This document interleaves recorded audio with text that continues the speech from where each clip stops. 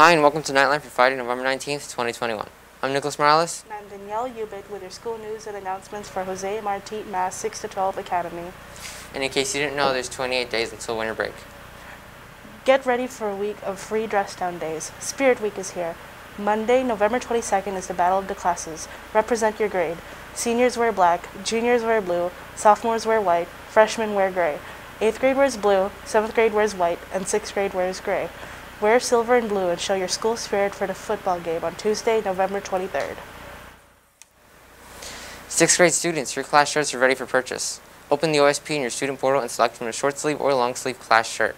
Remember that you can wear your class shirt on Tuesdays. Eighth grade class shirts are also ready for purchase. Eighth grade students who would like to purchase an eighth grade class t-shirt can place their order through OSP online. Please see the flyer in your eighth grade teams for additional information.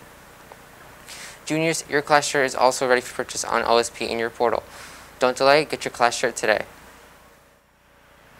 Drama Club will be meeting in room 1228 on Monday, November 22nd, immediately after school. After school tutoring for middle school students continues. Tutoring is available Monday with Miss De La Vega in room 1301, Wednesday with Miss Henderson in room 1328, and Thursday with Miss Garcia in room 1316. Tutoring hours are from 2.30 to 4 o'clock on Monday, Wednesday, and Thursday. And now a message from Ms. Collette. Today, the United States observes Substitute Educators Day, which was instituted by the National Education Association, NEA. The purpose of this day is to highlight the role and importance of the substitute teacher by providing information about, advocating for, and helping to increase appreciation and respect for this unique professional. This day also focuses on the needs for substitutes, which includes better wages and health, health benefits and continual professional development. Substitute Educators Day is observed by some on the third Friday of November during American Education Week. Substitute Educators Day is a result of the National Education Association Representative Assembly's line Business Items 2003 to 41, which called for an increased appreciation of school and substitute employees. These professional educators provide a critical link in the education of public school children by serving as a bridge to provide continued quality education to children in the temporary absence of regular classroom educators.